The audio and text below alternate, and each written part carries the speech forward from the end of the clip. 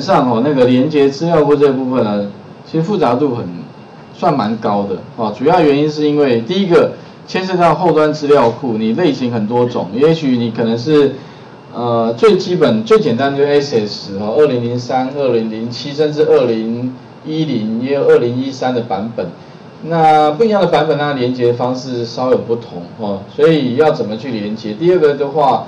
你要如何从 Excel 这边去连接资料库，并且把资料库带过来？那当然哈，这个复杂度很高了，所以我就举一个简单的。然后呢，因为这个部分呢哈，呃，我也整理了一些东西，因为这这这这几年有上到这个部分，那其实会牵扯到太多，所以我慢慢就把啊有一些可能不相关的，跟我们这课程不是那么直接关系的部分呢，就把它筛选掉。反正就是最重要，我们可以怎么样把资料查到。第一个怎么样把资料放到 SS？第二个的话呢，怎么把资料从 SS 里面呢，把它抓到 Excel 里面？第三个呢，你可以做一个简单的筛选，把资料查到之后放到我们 Excel 里面来。我想这个是一般最最基本的需求哦。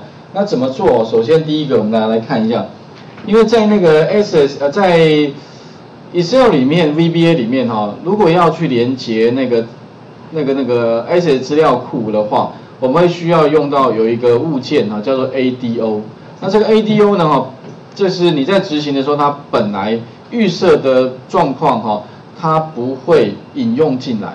你必须要怎么样呢？先把它引用进来，你才可以使用它。那怎么引用哈？工具里面有个设定引用项目，记得把这个什么呢？Microsoft 的 Activity Data Object 二点八的一个 Library，Library 就程式库啊，你要有这个程式库。你才可以去存取什么呢？存取这个呃资料，这个资料库才可以具备有这个开启，比如说查询、新增、修改、删除的各种这各种的这个哈呃这个功能。